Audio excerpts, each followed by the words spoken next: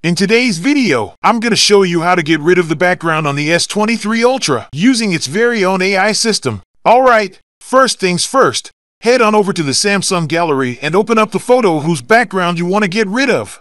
So, I picked out this super cool picture of a girl who looks absolutely amazing and stunning. Alrighty, now I'm gonna tap and hold my finger right on the girl's heart. Oh my gosh, you guys! Now I can drag and move the girl's cutout image. Okay, now you've got a few options here. You can save the image as a PNG, import it into a third-party photo editor, or just copy it right to your clipboard. I'm gonna save this baby as a PNG image and then import it into a photo editor. Just a heads up, all you gotta do is tap on that share button and pick your preferred photo editor from the options menu. For me, I'm going with Artflow, a free photo editor packed with some sweet advanced features. In Artflow, you've got the freedom to make as many layers as you need for some seriously next level photo editing. Just whip up a new layer and slide it right behind the one with your snazzy cutout object.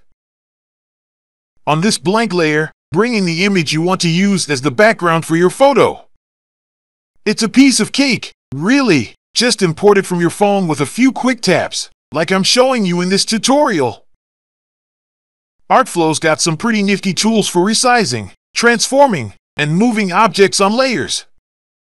With these, you can adjust not only the background but also your cutout image to get it just right. As per usual, iOS's snazzy new feature is hopping on over to Android devices.